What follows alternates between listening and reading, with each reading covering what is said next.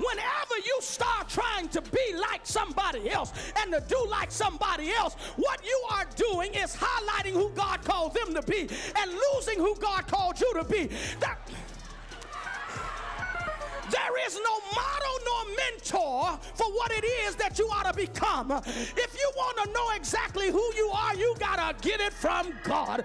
God is the only one that can affirm you, God is the only one that can confirm you. You can't find nobody to tell you you're okay because don't nobody know nobody like you. Ain't nobody ever seen nobody like you. Look to the person next to you say, baby, you ain't never seen nothing like this.